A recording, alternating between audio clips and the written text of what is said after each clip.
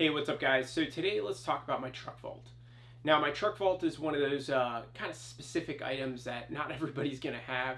Uh, but for me, somebody that travels a lot, drives a lot of places, and carries a lot of expensive stuff, including night vision stuff, I really try to have a storage uh, or a way to store it in my car if I go in for dinner or if I'm stopping uh, somewhere between um, my hotels and my, my ranges. Uh, I still bring everything into my hotel. I will say that because I, I'm paranoid as hell when it comes to losing my equipment uh, to the point where I have a tracker in my Pelican case when I fly places. So I'm, I'm very uh, paranoid when it comes to that. So I try to be very safe when it comes to not letting guns get into other people's hands, especially people that are going to steal them, which are usually not the good type, right? Good Samaritan type. So um, with that, my truck vault was something that I thought about, and I was like, for for almost, I would say like a year and a half, two years maybe, that I went through different iterations. I'm like, yes, I need it. Yes, I don't. Yes, I need it. No, I don't. And like I kept like hopping around a bit, and then I also wanted some some specific stuff, right? I wanted to make sure my truck vault had a drawer that was actually a table. Uh, because I end up working on a lot of people's guns, um, and over the years I've dropped a few pieces that went down into my my trunk cargo space and all the way down into where the spare tire is, and I'm like, well, that's gone. so um, so the little table is much more helpful, and uh, and and if you look at it here, like you can see that there is uh, it, it locks out, and then I have to unlock it to store it in, so I can hold or I can have it on a on an angle of sorts. So it's actually really cool table. It's pretty tough. Um, I can't like sit on it, so it's not strong enough for that, or at least I don't want to sit on it.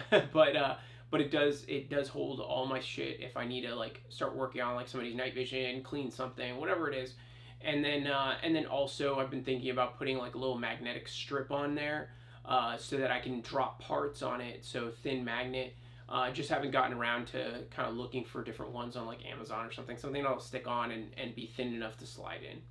So eventually I'll find something and play around with it, see if that's uh, viable enough for me to use, but something so that I can use that. Now, most of the time I'll use like one of those little Magpul trays or something like that so that I don't lose stuff, or the magnet that's on my Fix-It Sticks pack. Um, I'll use that for little parts and stuff too. Now, uh, going further, right, you can see like the uh, the side of the truck vaults are kind of felty, or they they're supposed to blend in with the interior of cars. Um, uh, it doesn't really blend in with my interior because I don't have any like felty stuff in my car. But uh, at the same time, it does give me surface that I can stick Velcro items on to include patches. I have a little admin panel on there that you can see, and it has like pens and like you know 550 cord random things that i need on on a normal basis like hey if i need this i have it. Um, sometimes i throw like pedialyte little powder packets in there so that i have them readily readily on hand.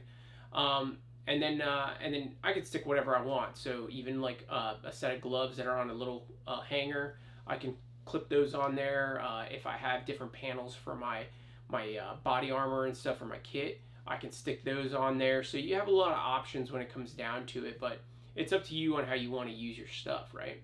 Um, going on the inside, right? Uh, I I like, uh, or or actually, let's talk about the top. So going to the top, you can see like I I keep a bunch of shit on top there, um, but I asked for a specific lip, and and they offered a, inch and a half lip that they'll drill on there, and it goes all the way around, um, and gives me some area that I can kind of like throw targets up there. I could throw little bags, my ear pro, different things like that that that I just don't put in the drawer. One because it it wastes space in that drawer because I try to save that for guns and stuff uh, that's important.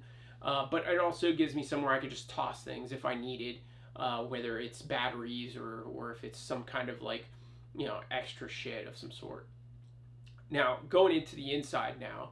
Um, what I have is a drawer that's about 10 inches deep, I think a little bit more than 10 inches deep, and, and about 17 inches wide.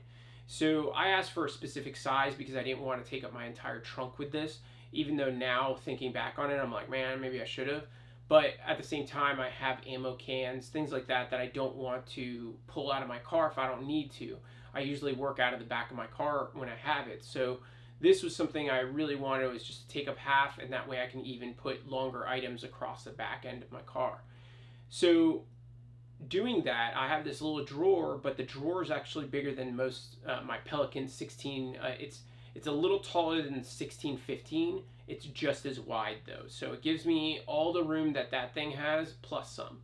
And I fit a lot of stuff in that case when I travel, so it gave me the same kind of capacity, which is something I was looking for because then I have the same options when it comes to uh, traveling with stuff and I don't overstuff my things.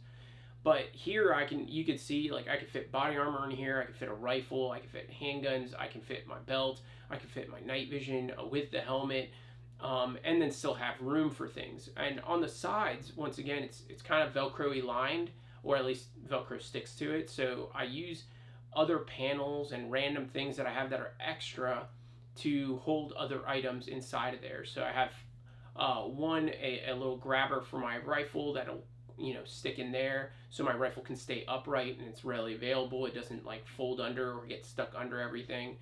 Um, I have one that holds like my suppressor because my my drawer is not deep enough to keep my can on there but that's fine.